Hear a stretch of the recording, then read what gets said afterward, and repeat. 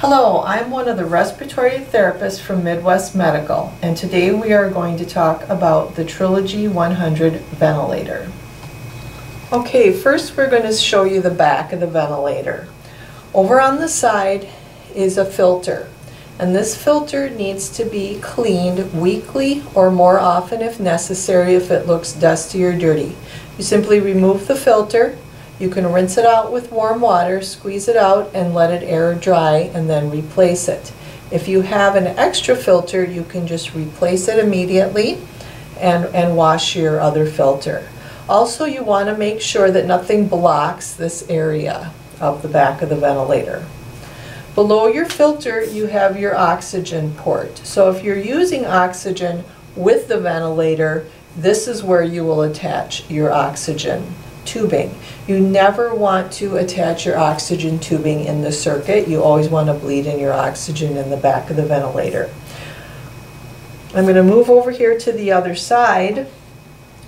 The ventilator has an internal battery that will last you three hours.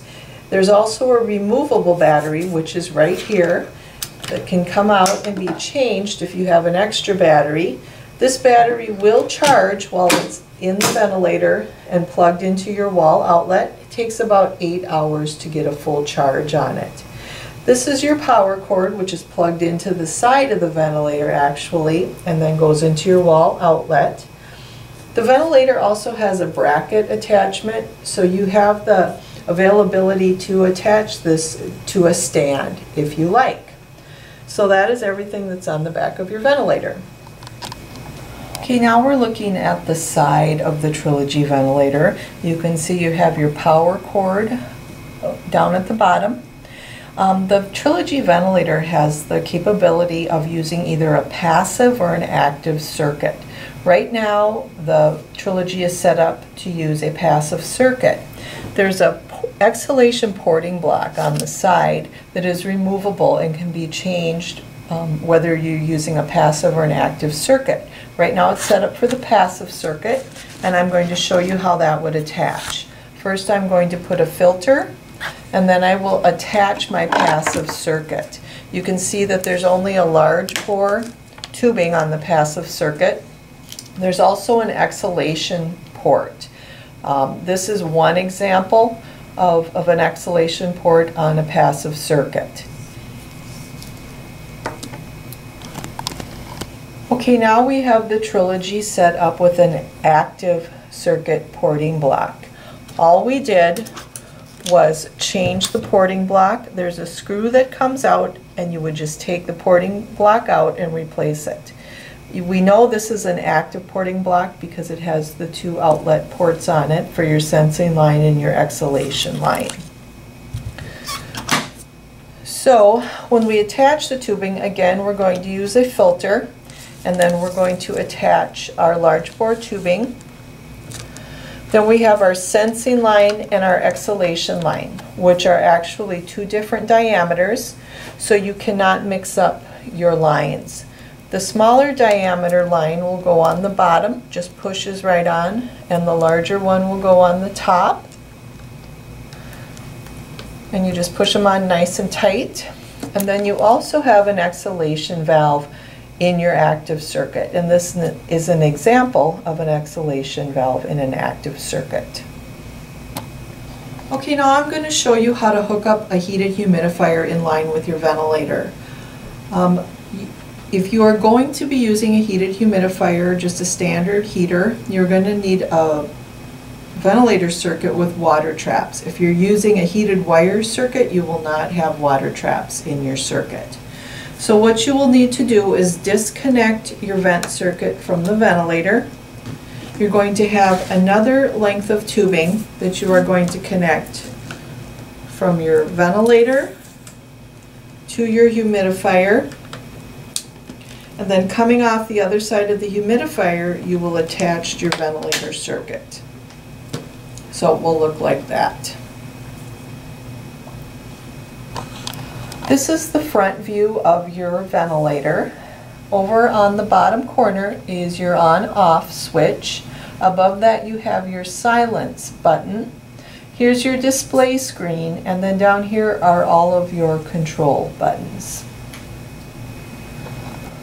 Okay, so now I'm going to turn the ventilator on with the power button down here in the corner. So I'm going to push the button. It's going to power up. It's going to go through a quick little self-check of the alarm. And then it's going to start ventilating your patient. For demonstration purposes, we have it hooked up with a test lung. So what you're seeing now is a, is a detailed view screen. Up on the top is your monitoring panel. And this is going to show you um, which, if you have it in active or passive, and which mode that you're using it in. So right now we have it in passive and assist control. We've also got the time date over here.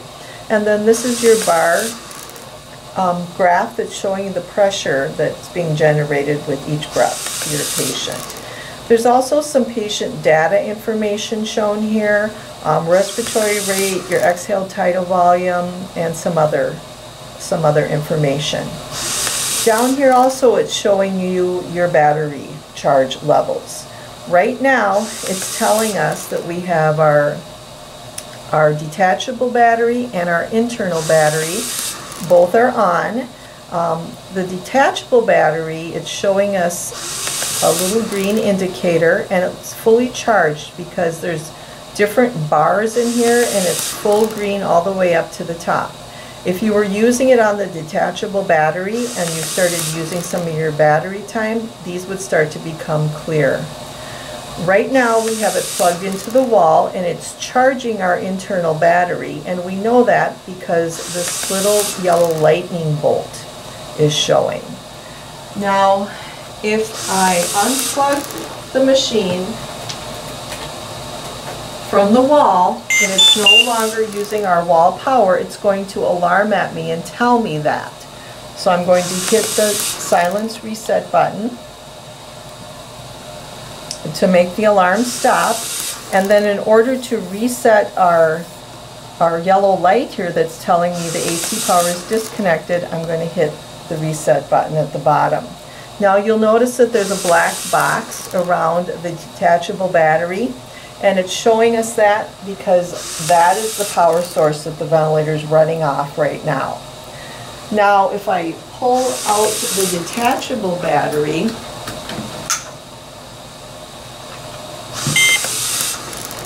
it's going to again give me a little indicator that I took that battery out. I'm going to reset it and now it's being used on the internal battery. And I know that because the black box is around the internal battery. If I put the detachable battery back in, it's going to show me that I did that and it's going to put the box back around the detachable battery. And now I'm going to plug the machine back into the wall and all the black boxes are going to disappear because it's using the current from the wall. But it's giving me the lightning bolts because I did unplug it and now plugged it back in so it's going to charge. So that's everything that you can see at this point on the screen on the front of the ventilator. Now I'm going to show you how to get into the menu to um, look at what your settings are at. You're not going to be able to make any changes in the settings. This is just so that you can look at what your settings are at when you do your vent checks. You're going to use the up, down arrows to get into your menu. So I'm going to push the up arrow as it tells me to do. Right here it says menu with an up arrow. So I'm going to push that. So my menu screen is going to come up. Now I'm going to scroll down with the down arrow to where it says information and then over here where it says select I'm going to push the button below that. Now it's going to go through and tell me all the information that I'm going to need to know. It's going to tell me what mode I'm in, what circuit type, what my tidal volume and breath rate and inspiratory time and all the important things that I need to know so that I can write them down or check my settings to make sure they're set correctly. When I'm done in this screen, then I simply come over to where it says Finish, push the button below that, and then to exit my menu, I push the exit screen. So it's as simple as that to just go in and see what your settings are at. The Trilogy has the capability of setting dual settings in the machine. You will have a primary and a secondary setting, and these would be ordered by your physician, and we would put them into the machine, and you would just need to know how to switch back and forth to those different settings. Now, it's very easy to do that. What you would do is go into your menu again by hitting the top arrow, and the very first thing that shows up on the top says switch to secondary settings.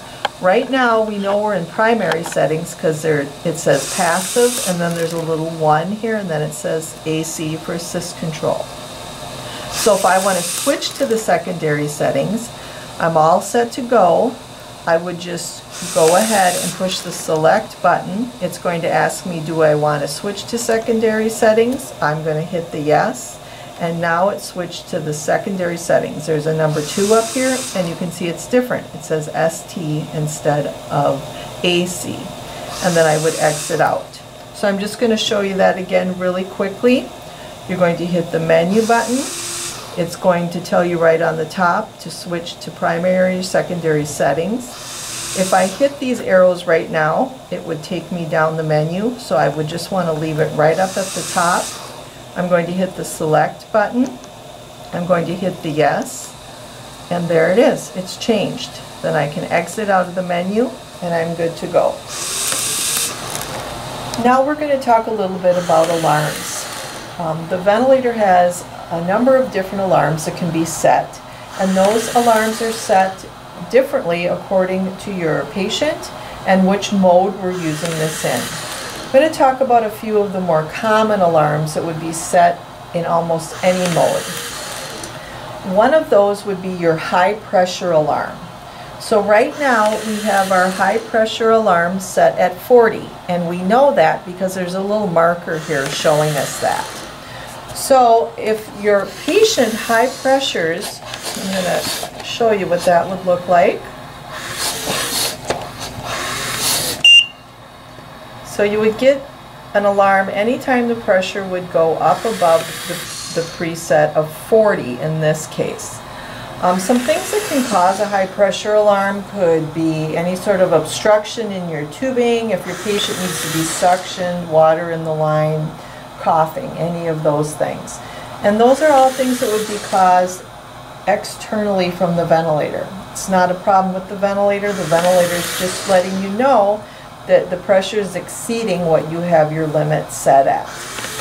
Another alarm would be a low pressure alarm, and then there's also a disconnect alarm on this ventilator. So I'm going to show you what those would look and sound like.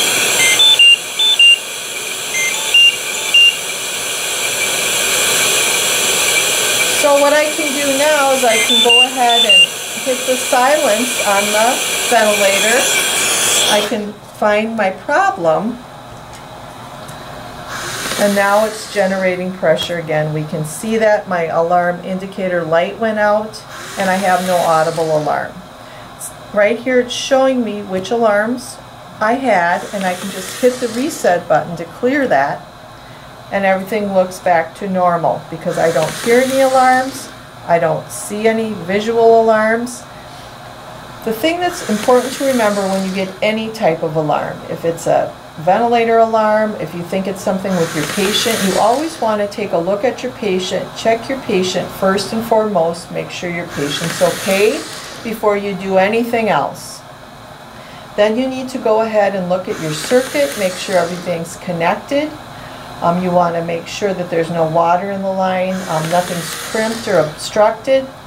And a, a troubleshooting tip um, that you can always use if you've checked everything well and you're still having problems and your patient's fine, it could be a couple of other things. It could be a problem in the circuit. You may have to change your circuit. Or another thing you can keep in mind is your patient's trach tube. If your cuff is deflated or inflated, those are all things to keep in mind. And then of course, if you're ever having any issue, you can always give us a call at Midwest Medical and we will be happy to help you do any troubleshooting.